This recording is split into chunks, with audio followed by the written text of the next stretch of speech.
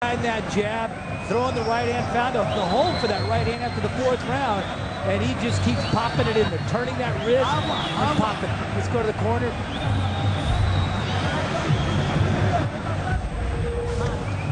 Here's some of the action right here in round number eight. There's that jab, there's the right hand. Completely turning the head of Bedak. Colonel, what stabbed on the part of Bedak? This guy can take a shot. He can take a shot, but I don't think he's feeling too well. I'm watching him in his corners. You folks at home watch the replay. This guy looks like he's really, really exhausted right now to me. And again, the humidity here, brutal, brutal humidity. Bedak right now is running on pure courage and pure grit. Feeling well at all. All right, here we go to round number nine. This might be the round for Wilfredo Vazquez. Bedak looks like a beaten fighter to me. As tough as he is, he took a lot of punishment in that last round. He might have one last go at it to see if he can stop this guy because he's at a territory now where he needs to stop Vazquez, I think, to win the fight. And, and that, not very good English, but that ain't happening. it ain't? it ain't. Sorry for all you mothers and dads that don't want your kids speaking bad, but I've heard a lot worse English than that on television. We're not journalists, all right? We've already clarified That's that, right, that's right. We're not That's journalists, we're entertainers. That's right. Now he's- look at Vazquez now digging down to the body. Like I, I, this is the place where I think he needs to go now. Go to that body just like he did against Sonsona. He dropped Sonsona with a left to the kidney. Bedak is to the point of exhaustion where he comes in now, he, he comes into the kill zone and he's not throwing like he was in the early going, and that's fatigue. He's a he's really been, been beaten to this point. And Vazquez, uh, he drops a couple more of those powerful right hands and he will get this guy to go. I give Bedak all the, uh, just all the admiration in the world because he has been some sort of tough character, but it hasn't worked out tonight. His fight plan, whatever it was, uh, he started out decently and had his best round of the fight in the third. And since then, especially in the fifth round where he was staggering again in the eighth round, he was out on his feet, but hasn't been off as yet. Well, his plan seemed to be a very complicated because he wouldn't disclose any of it to us at all. I mean, it was like it was top, top secret stuff, you know. But I mean, bottom line, he came out trying to do what he thought he was going to be able to do, and that is to go ahead and work behind that jab. But again, at five three and a half, that was not going to happen. And especially when you're going up against a guy who's actually quicker than you are. You notice that Bedak is taking very deep breaths. Maybe he can get a second win, maybe not. Vazquez is kind of taking this round off as well with only a minute to go. Let's see if he finishes very strong here to make it a definitive round for himself. Because this is a cruise control round for both guys, sort of. One is forced, the other is by design. And the only shot Bedak has here is to make it a street fight. Make it a street Oh, fight. that's it, Benny. You're Go absolutely inside, right. inside, you put plant your head right on his chest and make it a, make it a brawl. That's the only chance that he's got right now, but I don't think he's got enough left in his gas tank. This guy's running on pretty much on fumes right now. He gets off a couple of shots, but there's no real power behind him. They look better than they are. So I'm going to give you the obvious question now. 232 amateur fight. Thinks he stayed in there too long? Nah, it's hard to, hard to judge, you know. Very hard to judge. Some guys staying there too long, but I mean, he's trying to load up, load up shots that you don't do in the amateurs. I mean, he's fighting like a professional fighter, Benny. I think anyway. But I just think no he- body shots. Yeah. I, I just think he's going to get some much better fighter than Vazquez. I think Vazquez is a more gifted fighter, and he certainly is outboxed him. I mean, Bedak, you can't give him that round, and Vazquez practically took that round off. I got it 79-82 with three rounds to go, so Vazquez can stay on cruise control, and this guy looks like a beaten fighter. That right eye.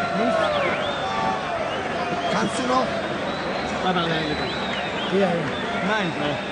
Ah, here. We got And here's some of the action. Ninth round, and again, Bedak has had his moments when it seemed like Vazquez was kind of taking that round off, but when he needed to, there it was.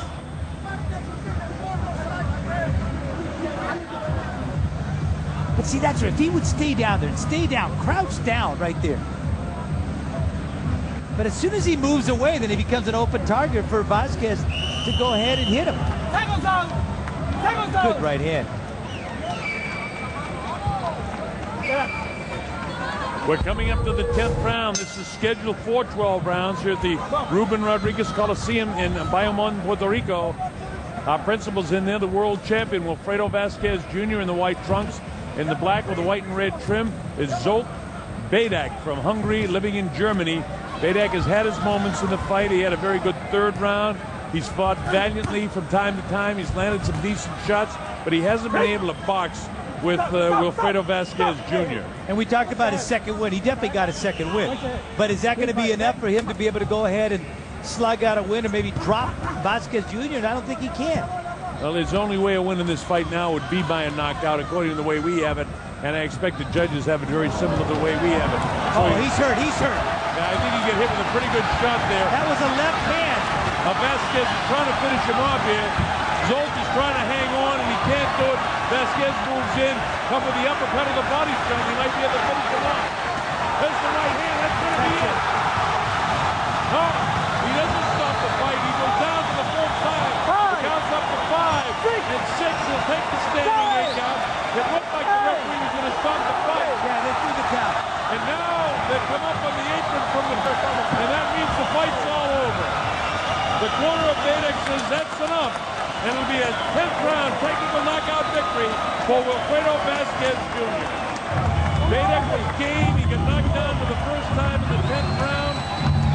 But it wasn't meant to be. Vazquez eventually outboxed him and then hurt him in the 10th round.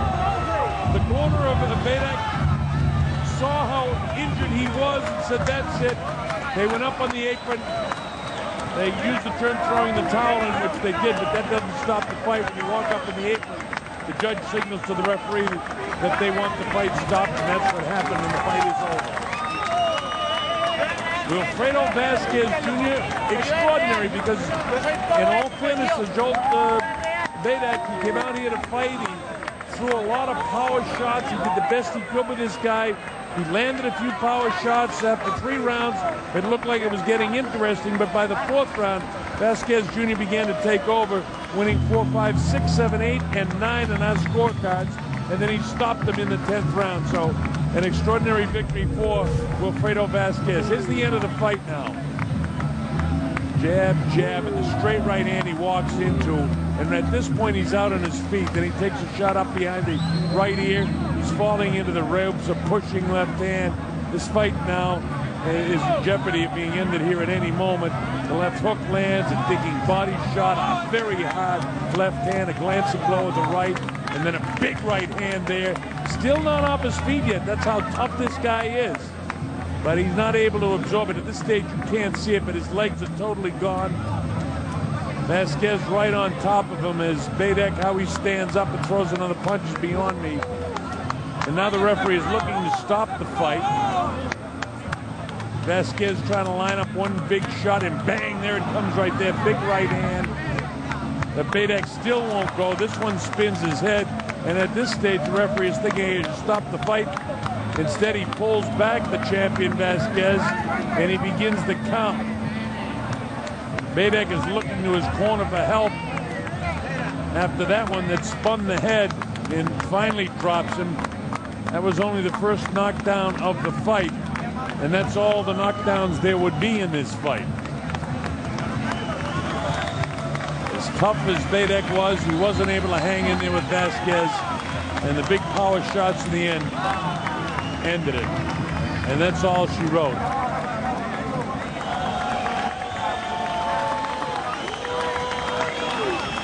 Another angle. Boom, there's the big one that eventually ended the fight as he crumbles down to the canvas. And there's the champion, Wilfredo Vazquez. Well, Benny Ricardo standing by, and as soon as they let me know Benny's set, we'll have our interview with Benny Ricardo and Wilfredo Vazquez Jr. We still need to make this official and get the announcement from Jimmy Lennon Jr. I don't see Jimmy around right now. When I see Jimmy, we will make it official. Es Jimmy Lennon. Okay, we said Jimmy, let's make it official. Damas y caballeros, tenemos el tiempo un minuto, 12 segundos en round número 10. With a time of 1 minute 12 seconds in round number 10. A referee in charge, Jose H. Rivera, stops the contest El ganador por knockout técnico. He is a winner by way of technical knockout, still undefeated, and still the WBO Junior Featherweight Champion of the World, Wilfredo Papito Vazquez Jr. A mi nena, mamá, papá ganó, que la llevó para casa. ¡Ganamos, ganamos, nena! Papá te la lleva para All right, Benny is standing by, so Benny, go ahead and let's have the interview. Mario.